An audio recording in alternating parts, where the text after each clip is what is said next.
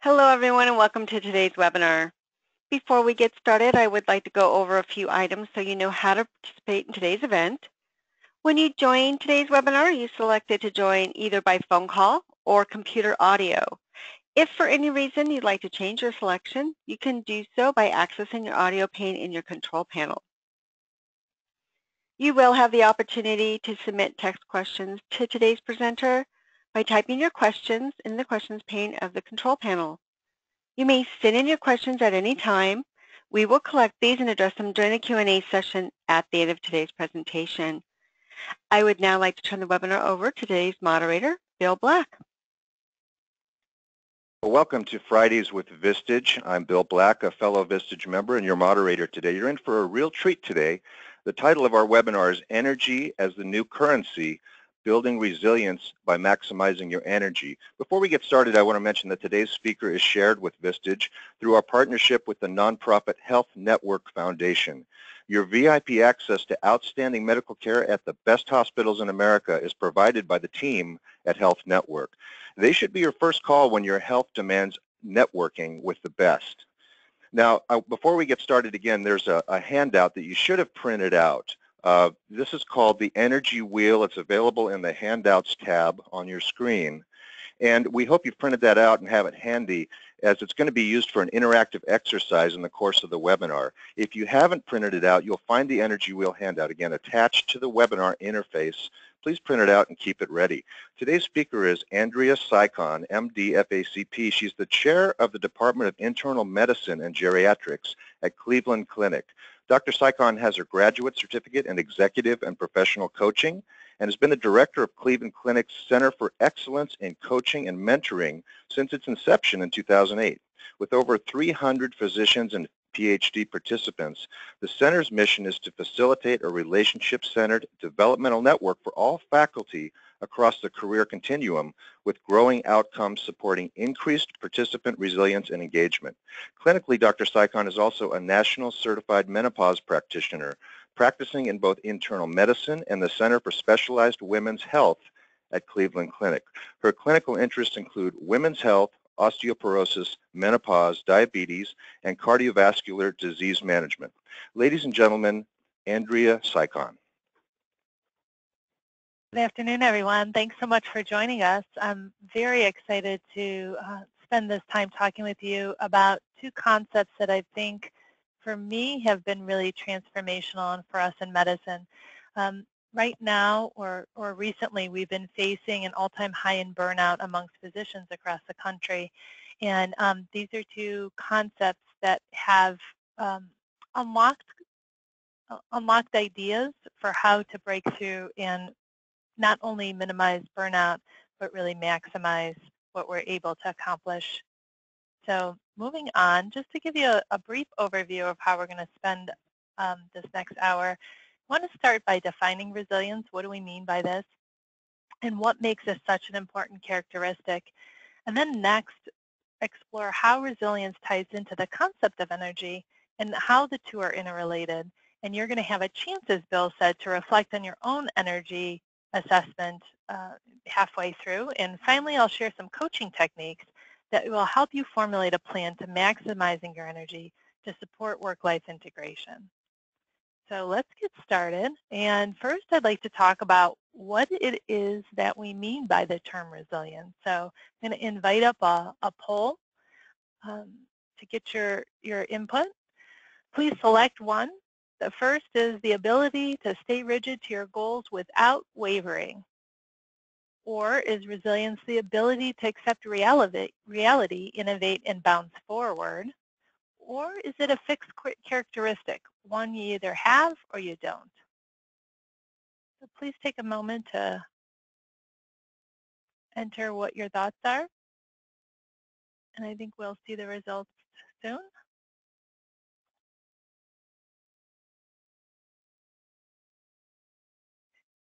Looks like the vast majority uh, were correct that the it's the ability to really look around and see and accept reality. What are the circumstances we're in?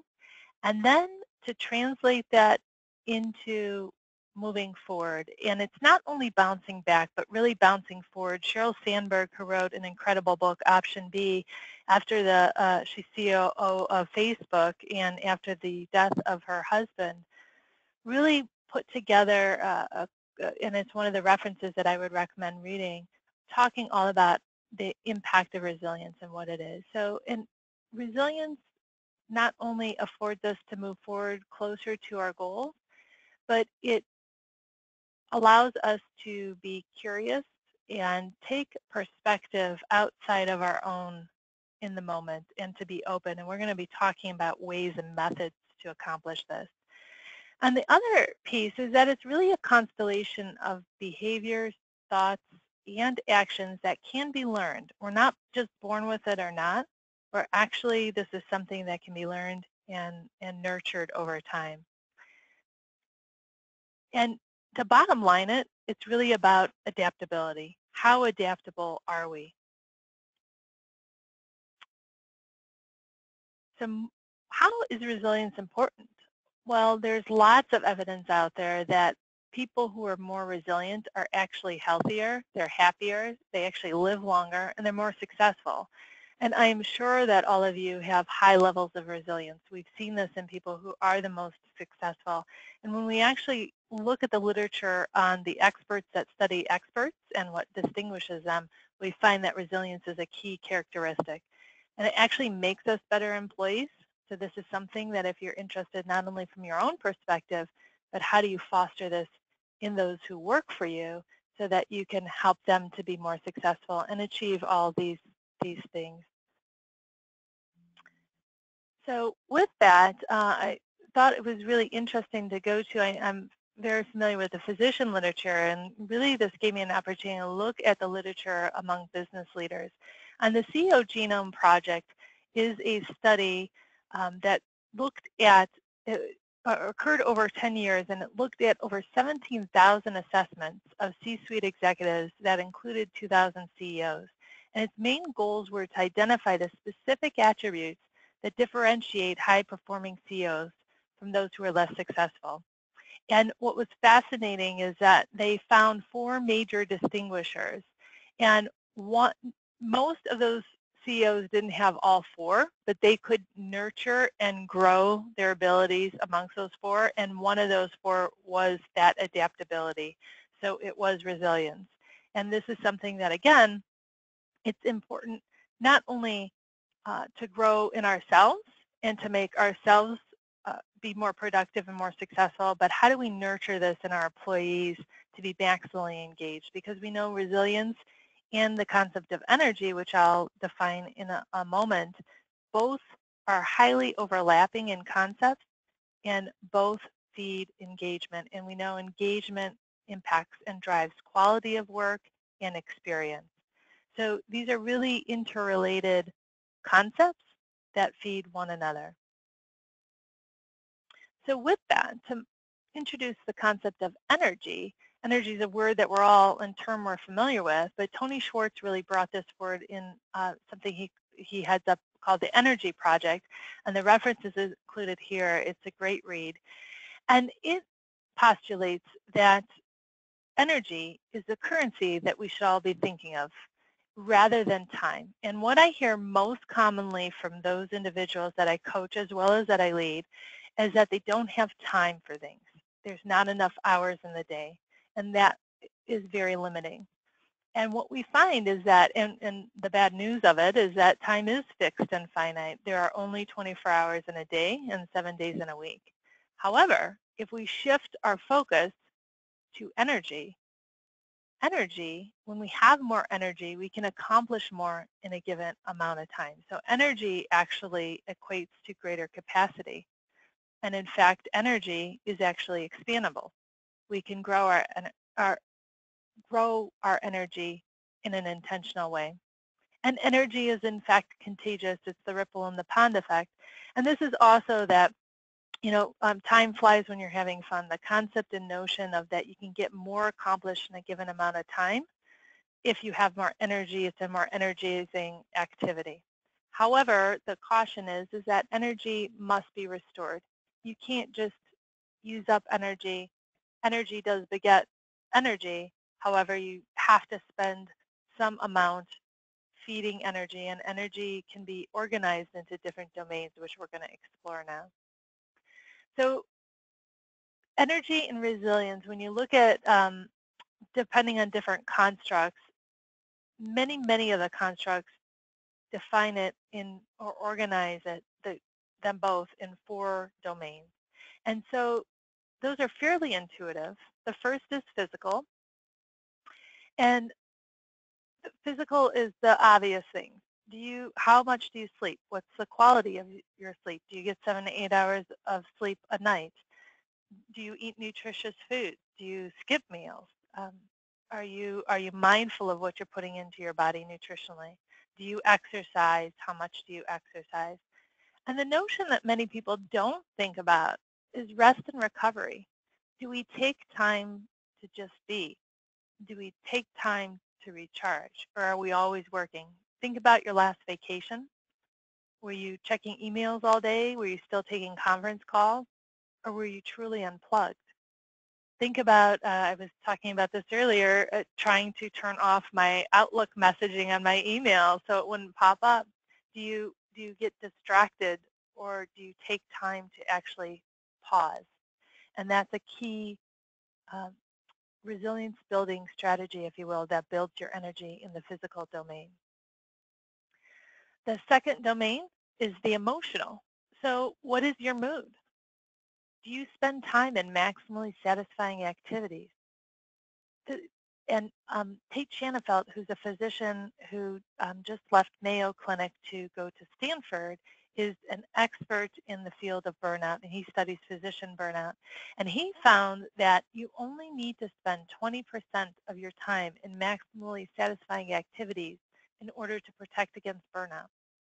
So that's pretty striking. That is not even the majority of the amount of your time, but just a fraction, less than a quarter of our time in things that we really love will feed our energy tremendously. The next is relationships. Do we spend time fostering relationships? Relationships not only at home, but at work?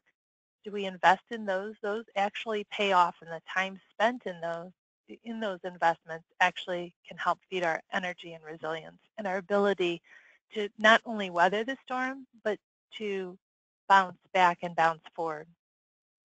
Appreciation. This is a really fascinating concept that um, many of you may have heard of lately as this becomes more popular and out there in the mainstream media. When you express appreciation, appreciation for life circumstance, appreciation to others, you and, and um, you may have heard of this in the notion of keeping a gratitude journal. People, there's lots of data out there that people are healthier, they have lower rates of depression, they have elevated mood, and um, they're actually more successful. So that is something concrete about how often do you just say thank you to somebody? How often do you even personally reflect at the end of each day if you just record three things that you appreciated throughout the day? And they don't have to be huge things.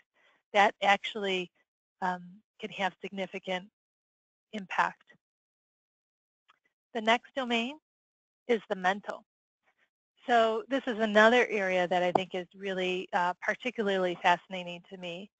How much do you focus at work or are you a multitasker? And I will tell you that this area um, was really shocking and I have to say that um, I've seen studies, gender-based studies of men versus women, and they've actually give, given male children and female children uh, um, a task list to complete and the males complete it sequentially and the females were more multitaskers and I was always um, barking at my husband to be a multitasker and in fact he was actually right um, without knowing it. So actually multitasking makes you less efficient and in and, and even in mundane or things that are simplistic. So when I'm um, in the middle of checking my email and my assistant walks in and asks me a question, even that simplistic, even if it's something that is an easy answer and doesn't take much thought, actually reduces your efficiency, efficiency significantly. And in fact, some studies have cited up to 40% less efficient or, or takes 40% more time per a single task. And if you think about that and how many things we actually do, our minds aren't actually set up to be able to multitask, especially if there's um, competition in the parts of our brain that are activated. So if you have background music on, having background music that has words in it actually is very detracting and takes more um, extraction of energy or expenditure of energy of our brains to suppress that and work on what we're working on.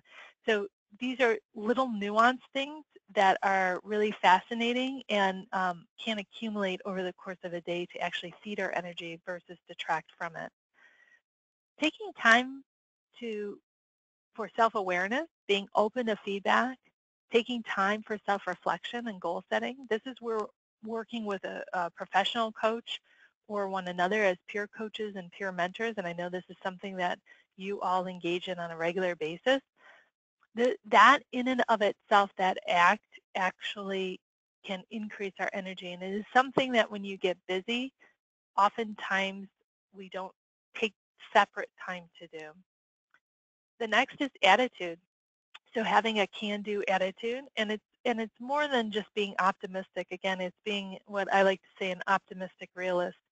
So thinking about what goals you do want to achieve rather than just having a problem focused or a reactive focused framework, having what we call an asset-based focus, which is to start first about, okay, what is that I or we as an organization want to achieve?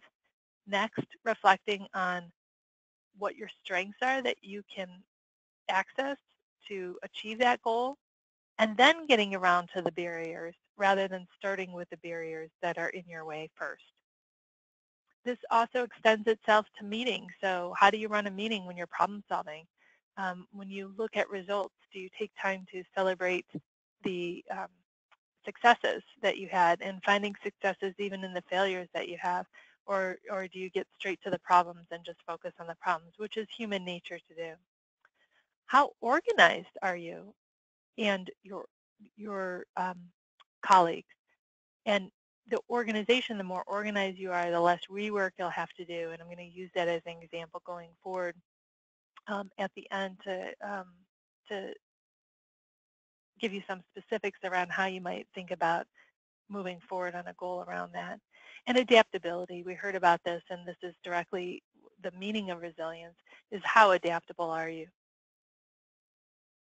And then the last domain, which is the spiritual. And this does this includes but is not limited to religion.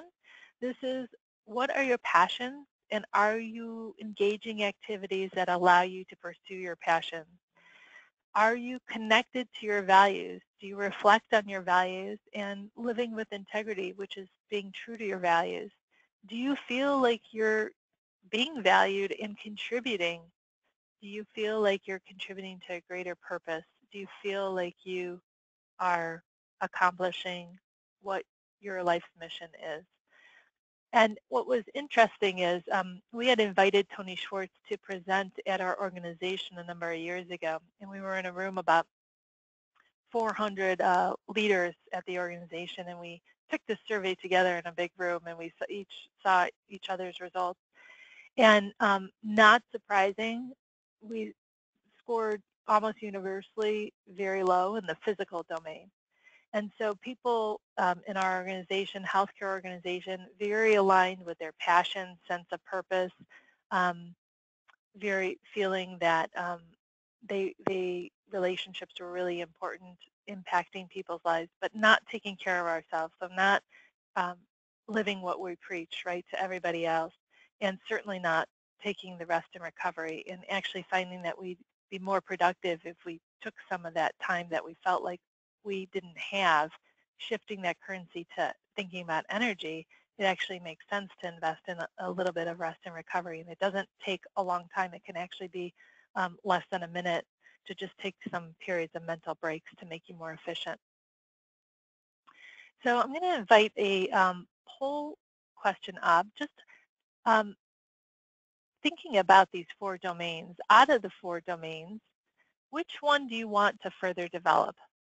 The physical, the emotional, the mental, the spiritual, or none? You've already, already got all this aced. You got it all down.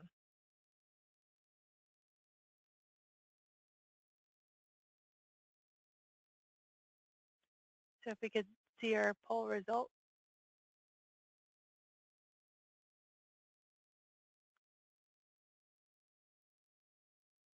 Let's see. So it's, it's split. Um, there's a couple of individuals that maybe have it all down, and we would they likely be great mentors for us um, to learn what they're doing. I think that um, it's it's very common to see a split, and, and this is just meant to um, it's highly individualistic. So, um, so moving on, I'd like you to think a little bit more about reflecting about how you recognize resilience in yourself and energy and um, thinking about specific activities that you do in each of these areas or don't do. And um, we're going to move on to that self-assessment piece. So if you've pre-printed the energy wheel, if you can grab it. If you haven't printed it, um, it is available in the handout via the PDF. and what this uh, wheel is, is just divided into those four domains and the areas of what we had just talked about. And this provides you just a visual self-assessment. I'm going to walk you through it. I'm going to show you an example of it, of, of my own, and then I'm going to ask that you complete your own. And so basically what we want to do is rate ourselves on a scale of 0 to 10, 0 being, say, non-existent within a given specific subdomain, and rating ourselves at a 10 if we're at goal. Doesn't mean perfect, just means at a, a fully energized in a specific subdomain. So you can take a few minutes to do this. I'll show you mine, and this is what it would look like. So you're just going to draw a line across.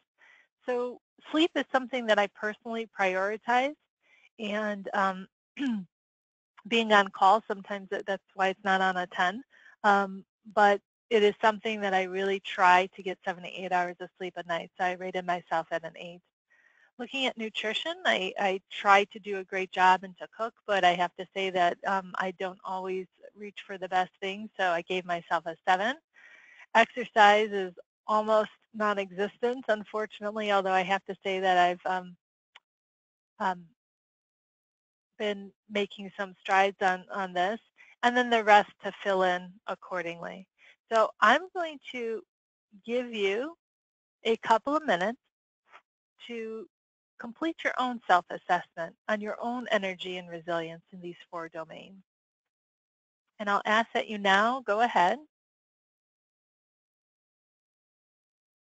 reflect on the areas. We're going to time you. And think about what context some people think about some of the domains at work versus home. You decide which one you'd like to use.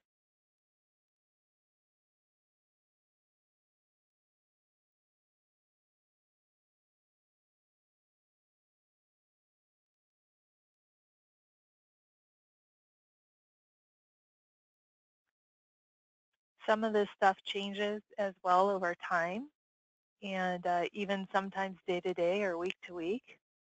So use whichever context seems right to you.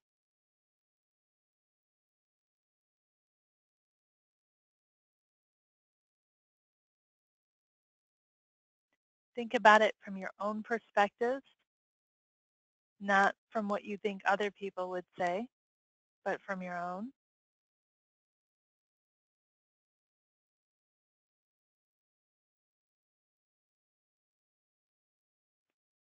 And be honest, you don't have to share this with anyone unless you want to.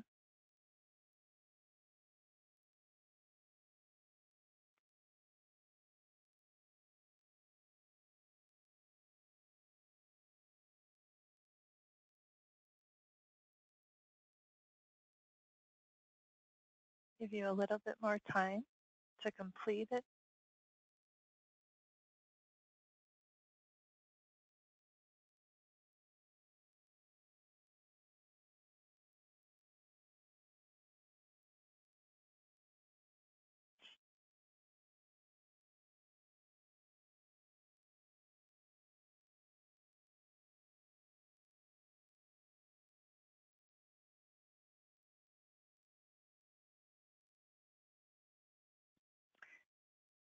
Hopefully all of you have completed it or near completing it. And if not, you can keep working at it. I am interested in reflections from it. Since it's a wheel, we tend to like to say how smooth was your ride, you know, when we're thinking about this in the context of work-life integration and thinking about how, how bumpy or balanced or imbalanced things may be.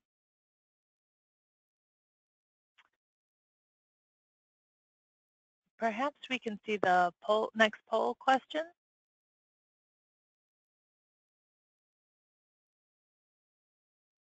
Oh, I skipped this one. I apologize from earlier. So um, let's go ahead and, and do this. How often do you think prior to this exercise you reflect on how you spend your energy? The first, I'm very thoughtful about how, when, and where I expend energy. The second, I think about it, but I'm not very deliberate about it. Or the third, I haven't purposely evaluated how I expend energy before just now.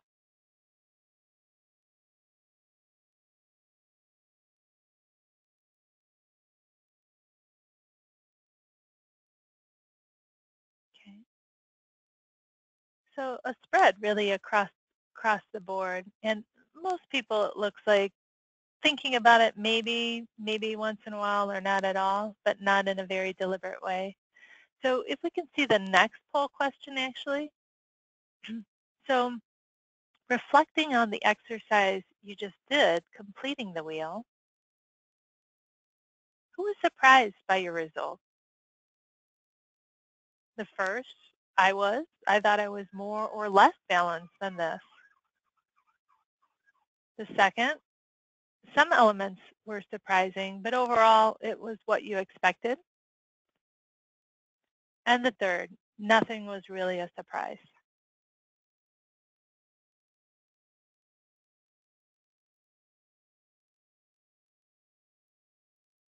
I'm always interested to see what turns up in a group.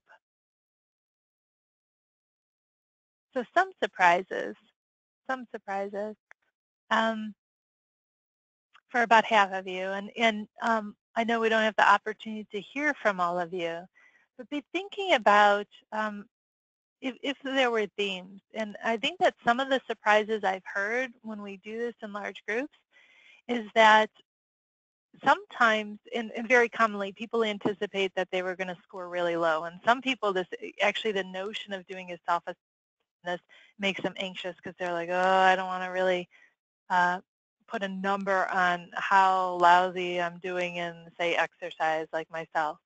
Um, but what I found is really intriguing is that a lot of the times people actually score higher when they really think about it than what they, because we're hard on ourselves. And um, I think that with reflection, that is something that's been interesting. Another interesting thing is, is if you take this wheel home with you and ask someone that's close with you to fill it out. And um, that about you and what they would think and how they view you. And oftentimes we we view ourselves or rate ourselves much more um, rigorously than others rate us. And sometimes it can be really, really assuring because I think that for myself, always worrying about how much time do I spend working, um, you know, impacting my family and that they actually rated me much, much higher in things than I rated myself. So also thinking about, um, as I mentioned earlier, the, the context in which you thought about this. Were you thinking about your relationships at work or at home or more globally? Um, were you thinking about different times in your life and how this would affect you, different resources that you have? If you have a physical, something going on with you, if your health is diminished, that is something that um, when you when you think about it um, can really have an impact and and take from one area and and force you to kind of um, drain your energy, if you will, as well as how one domain influences the other.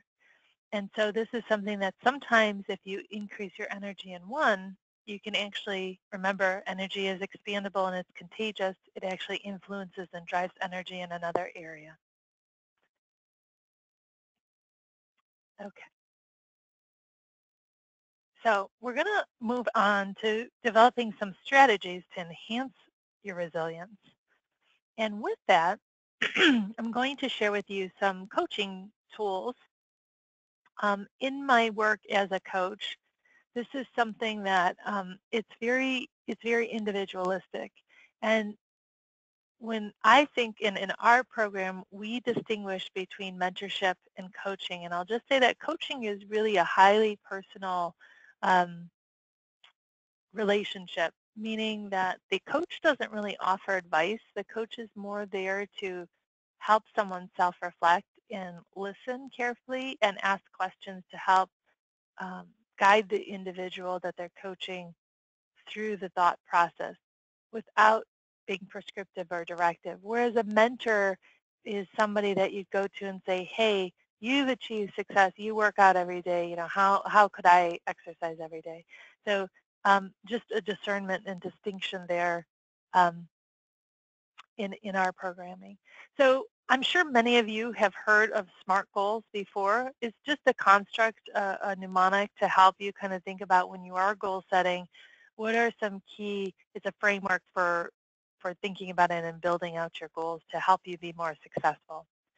So with that, um, I'm going to give you my example.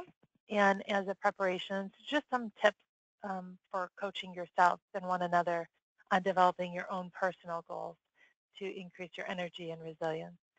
So I actually chose organization for myself. And the reason why I did that is I was actually quite low on exercise, and I had been low on exercise for a while, and I've been trying to move that needle, and I found that I, I was I was really stuck.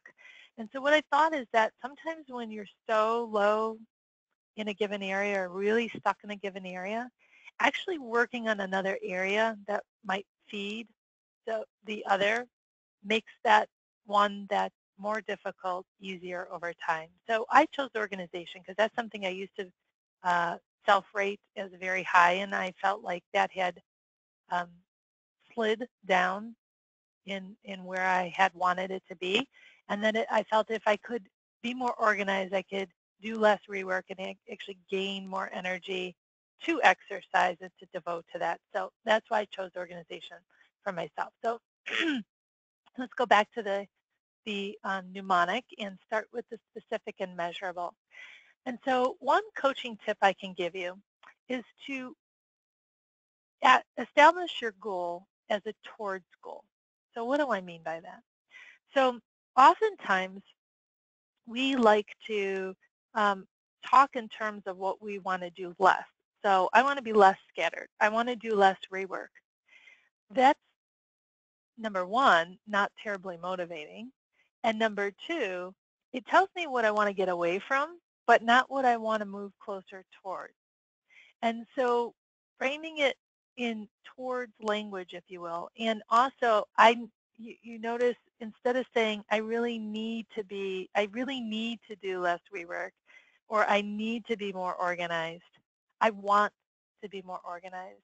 This subtle language carries profound impact on ourselves and one another. So when you're either coaching yourself or coaching others, coaching your employees, um, the subtle language can have a huge impact.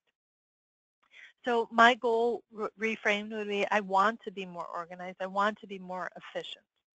Okay. The next tip is to be specific. So to, oftentimes we talk in very vague terms. So um, being in medicine and being a teacher, we may give a, a trainee feedback to, uh, you should take a better history. And that's not terribly helpful for them to take action on because it's not very specific. But if I said instead to them, you should listen to the patient and develop your differential and then construct your differential based off of what you're hearing, that is much more specific for them to be able to take action around. So get specific with yourself. So what does organization mean to you? Um, it means being prepared for meetings in advance. What would you be doing if you were more organized? Um, I would know the information that I needed to prepare for that meeting and I know exactly where it's located. What would others see? They'd see that I'm running on time. What would it feel like? It'd feel calmer. I'd feel more confident. I'd, I'd feel more respectful of others. I'd feel more in control. So the purpose of this is to really, we know in evidence that comes from how do we get people to achieve behavior change. And we know this in medicine from trying to counsel people to get them to stop smoking or to start exercising or lose weight, that you, ha you have to have high motivation in order to follow through with things. And you have to have a crystal clear view of how that would look and feel. So asking for feelings is really important too, because it's going to get you more open and more inspired to following through on that goal. Now, if that if it were all that easy, we'd all be achieving all of our goals, right? Um, it's not that easy, and what makes us stay stuck is that we all carry around what we call automatic beliefs. We all carry around what informs our worldview, and these are many, many, and we all have them, and there's many different types of them. So automatic beliefs are what we have to overcome in order to make forward movement on our goals. So an, an example of that is an attitude. So I'm just not wired that way. I, I'll, I'll never be more organized. I'm just not wired that way. So questions, coaching questions to help us break through that stuckness is, okay, if I can't even imagine, I can't even answer those questions about the, that we just talked about because I'm so stuck. What if things were magically how you wanted? What if what if you waved a magic wand and you went to bed and you woke up and you were magically organized? What would be happening? How would that feel? It helps us to kind of break through that and imagine. Absolute. So an absolute an example of an absolute is to be successful, I, I'd have to be completely organized at home and at work. Okay, so that's a, a coaching question to address that is, that seems like a 10 to be organized at, at home and at work. So what's a five look like? You know, where are you now? Are, are, are you at a, you're, uh, okay, I'm at a three. Okay, well, what does a four look like? So just getting people to kind of break it down and to make the goal smaller helps them to see it as more likely to be achievable. A distortion. So if I don't get more organized, I might lose all credibility okay, that sounds like a worst case scenario. What's, what's more likely to be true or what's the best case scenario? So those are coaching questions to help address those automatic beliefs and break through them. And then establish measures of success. So we've all heard that, you know, uh, you can't, you can't achieve these unless you, you know what it's going to look like. So how are you going to know you've made progress? What will others see? So um, in this example, I'll have what I need for the meetings. I'll feel more prepared. I'll, I'll, I'll be calmer. Um, I'll be running on time. So that gives you some examples of how to walk through the specific and measurable steps of the SMART goals. The next, you'll notice that I took out of order. It's not the A, it's the R. It's the relevant. This gets back to what I was talking about before, the motivation piece. If you have a stated goal but you're not really truly motivated to achieve it. We see this with wanting to stop smoking all the time. I know I should stop smoking. I know I really need to, but you're not really motivated to do it. You're not likely going to follow through. You follow through on goals when your motivation exceeds your current your, exceeds your current state, right? And so these are questions to help you explore how is this goal important to you? What do you hope to get out of achieving this? What would achieving like it feel? And what would achieving your goal allow you to do? And what's the potential downsides of not achieving your goal? And I think that this is something that we don't spend a lot of time. We spend time saying what is our goal and how are we going to get there. So motivations in this example, I, it's going to increase my energy and my sense of peace so that when I come home, I'm actually going to have more energy not only to exercise, but for my family. I'm going to be more patient with my family, with my kids and my husband. And the next critical, critical piece is what anchors us. It's our values. So also what anchors us to our behaviors is are those behaviors what is most important to us, which is our values. So how does this goal support what's most important to you? And what are you willing to give up to achieve your goal? And how does that fit into your values or not? Because one of the biggest uh, detractors of our energy is when we're living in disconcordance with our values. So in my example, to, to be an example to my girls is really important. And to, to be an example to say that I love my work and I love my family. It's not a but, it's an and. And that you can have both. And to show them how that's done is really core value to me. So moving on, one little bonus that's not in the mnemonic, but this is something that I find particularly helpful coaching others and coaching especially as um, in your positions in leadership. When you have somebody who may be acting in ways that seem unprofessional or discongruent with their values, getting them to reflect on their values and then getting holding up the, the either concordance or disconcordance of how, how are you acting and how do you think how do you think that either supports your values or goes against your values?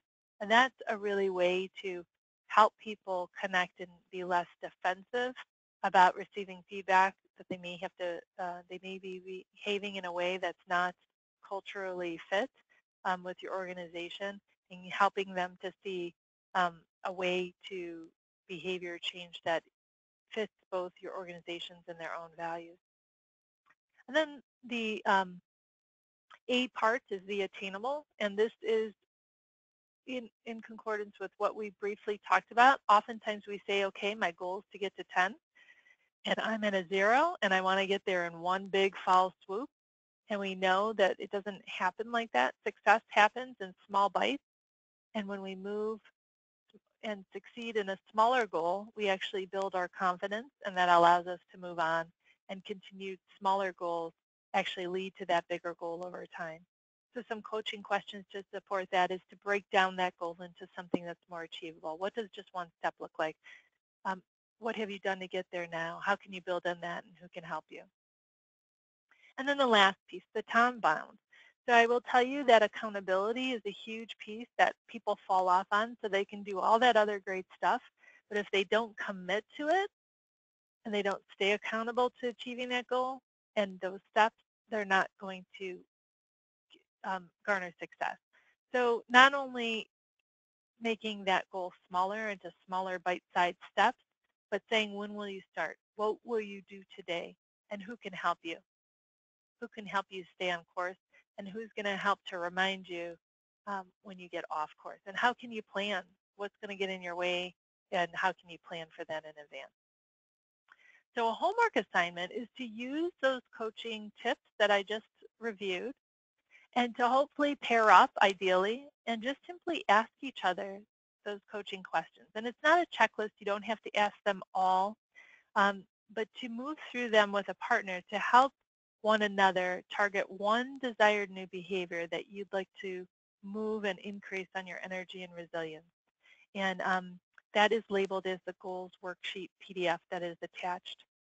Another homework assignment I would say is to think about an inventory, and you already started to do this, I'm sure, when you completed your energy wheels. What resilience and energy building activities you already do, and formulate an actually written list of those, and think about how you can do those things you're already doing just more frequently. And then the last piece is to consider integrating these two activities that we just walked through with your employees. And how are ways that you can help others to reflect on their own energy and their own resilience and to grow it. So let's see. Um, how about how about we skip um, the next poll question, Bill, um, just in the interest of time, and I'd like to do the activity um, that we have. This is kind of a bonus. This is a specific um, item that you can do, activity that you can do personally and, and with groups. Um, it's in the realm of mindfulness, and um, this is another area that's gotten a lot of and really a lot of media lately, and um, is something that you can do in a small bite in 30 seconds or even longer activities of reflection and meditation and um, mindfulness exercises. So we're going to actually do a mindfulness exercise together, and I'm going to walk you through it. And hopefully you're sitting in a quiet place, if possible. And I'm going to ask you to get as comfortable as you can. And if you're sitting, have both feet on the floor and your back against the chair. And I'm going to invite you to close your eyes if you're comfortable with that. And I'm going to be asking you to picture a series of people. And one by one, in your mind, send them good wishes. And in order for this to really work the best, try your best to generate as clear of a mental image as possible. Really picture this person in front of you. So I'm going to have you start with yourself. And I'm going to have you repeat slowly. May you be happy. May you be safe and protected from harm. May you be healthy and strong. May you live with ease. Next, picture a benefactor, someone who has been very important in your life, someone who has helped you, a teacher, a mentor, a relative. And repeat slowly, may you be happy. May you be safe and protected from harm. May you be healthy and strong. May you live with ease.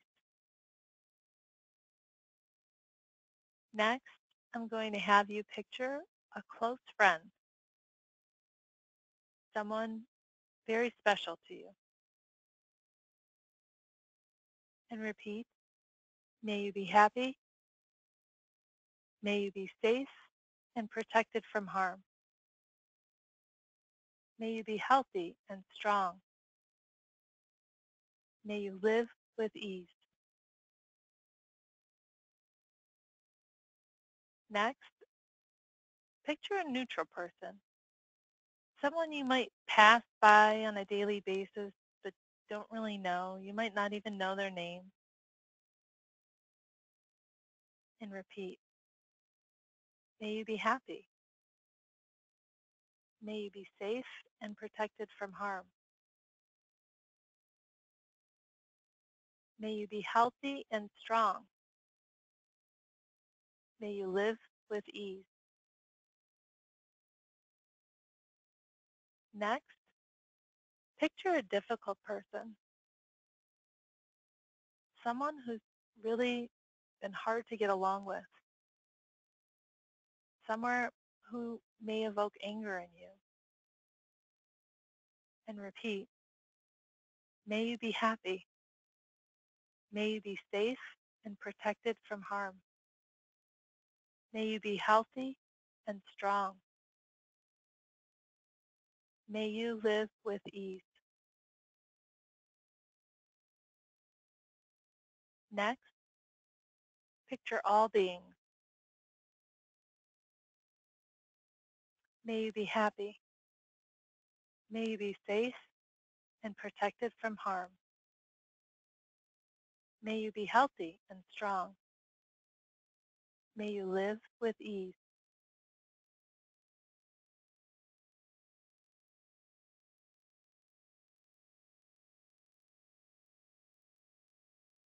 I'll have you open your eyes.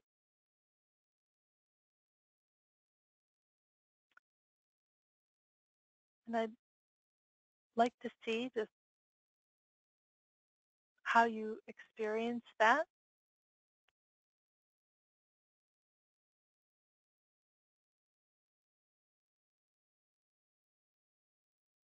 Was the experience calming and peaceful?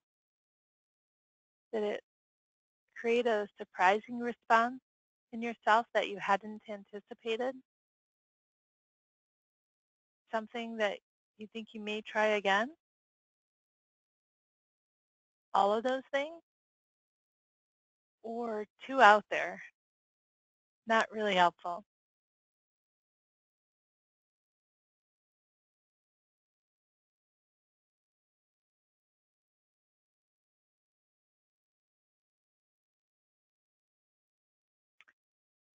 So very, very commonly we, we get similar responses. It is something that I have to say even for myself uh, seemed quite out there and fairly touchy-feely, if you will, um, at first. And this is only one type of meditation or mindfulness exercise. You can do things even if it's just um, being mindful and focused about taking a deep breath in and a deep breath out before you walk into a meeting. It could be about when you brush your teeth, focusing on the feeling of the toothpaste and the toothbrush in your mouth. So there's many different kinds of mindfulness and meditation, and there's lots and lots of data out there in a great book called 10% Happier that I have in a reading list. I'll show you in a minute um, by Dan Harris. It really talks about the value of um, mindfulness and meditation in our lives and how it can increase our resilience and our energy. So here's a reading list. There are certainly innumerable books out there. I'm sure that um, you all could add to this list. Um, these are ones that speak further about different elements about resilience and energy and some of the concepts we talked about.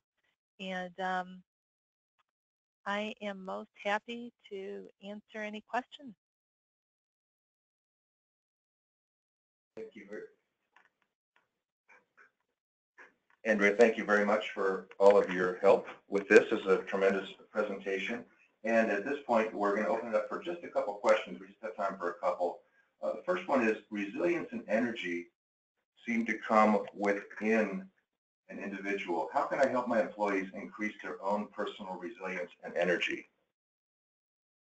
Yeah, I think that that's a very common notion, and I will tell you that um, um, Tait Shanafelt, the burnout expert that I referred to earlier, had studied the connection in physicians between professionalism and well-being and um, what what drives performance.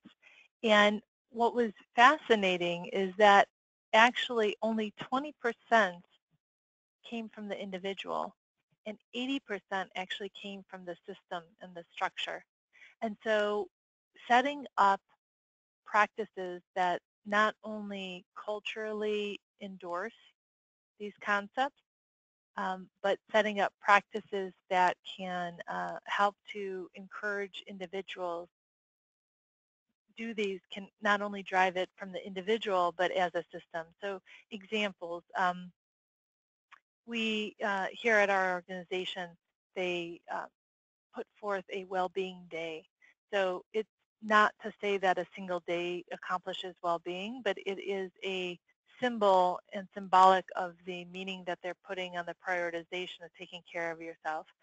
You can start a meeting or um, or even within a meeting, do a quick one minute turn to the person next to you and tell them something you appreciate about them.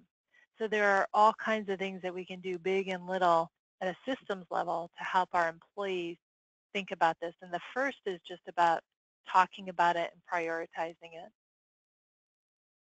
Excellent. Uh, you mentioned in your presentation that it's important to do the planning exercises with a partner. Why is it important to do it with a partner and can I just complete it as a self-directed worksheet? Yeah, that's something that um, comes up often and really it's important, uh, that's what brings kind of the role of a coach. And so the role of a coach is twofold. It's to hear things, those automatic beliefs, to really be listening and to be challenging what they're hearing. So it's to hold up the mirror for somebody and to ask them questions um, around so that you can kind of break through what might be keeping you and holding you back. And, and that oftentimes doesn't come out when it's just in your head and you answering the questions. Also, saying things out loud actually promotes a space between your feelings and your thoughts and allows you to kind of take control of those. So oftentimes we feel that um, we're stuck because of circumstances outside of us. And really saying it out loud helps you to kind of check things and say, hmm, maybe there is, there are other things um, that I can do. So it's an accountability piece as well. Excellent. Uh, you know, one other question we have is, what is the role of a coach and how is this different than being a mentor? So, um, and it means different things to different people. And I know, you know, sports coaches are out there and there's lots of performance coaches as well. Um, and what we mean, or what I mean by coaching is more of a developmental, um, somebody who's going to listen to you and not offer advice, but instead listen to you and ask questions to help you move closer to your goals. So similar questions to the ones we were talking about, rather than saying a mentor has achieved expertise in a given area and would be more prescriptive with advice. So a mentor conversation would say, oh, this is what I've done to get more organized. You should have folders for you know, each of your meetings. You should ask your assistant to do this. You should do this. Um, and sometimes, and that's very helpful. Both roles are very, very helpful. But oftentimes people have a lot of mentors and we all like to tell each other what to do and how to do it. And it may or may not help um, us in our particular situation. So having, adding a coach to your developmental network can be a very powerful um, additional support role. Uh, Dr. Andrea Sikon, thank you so much for a very informative and a wonderful webinar. Uh, we really appreciate you joining us today. Thanks so much for the opportunity. I want to remind you that upcoming Fridays with Vistage webinars including uh, include Friday, July 21st at 10 a.m. Pacific. Happiness is not the key to employee productivity. Join Nikki Llewellyn of Rainmakers and Head of Partnerships at Amplify to understand why creating a culture centered on meaning is the key to increased engagement and productivity for lasting business impact. And on Friday, July 28th at 10 a.m. Pacific, the new multi-generational workforce. Workplace dynamics are different today than they were 10 years ago. The diverse mix of perspectives creates challenges, but the benefits can be enormous. Should be very interesting webinars. Again, this is Bill Black, your moderator, thanking you for joining us on behalf of Vistage Worldwide. We wish you continued success.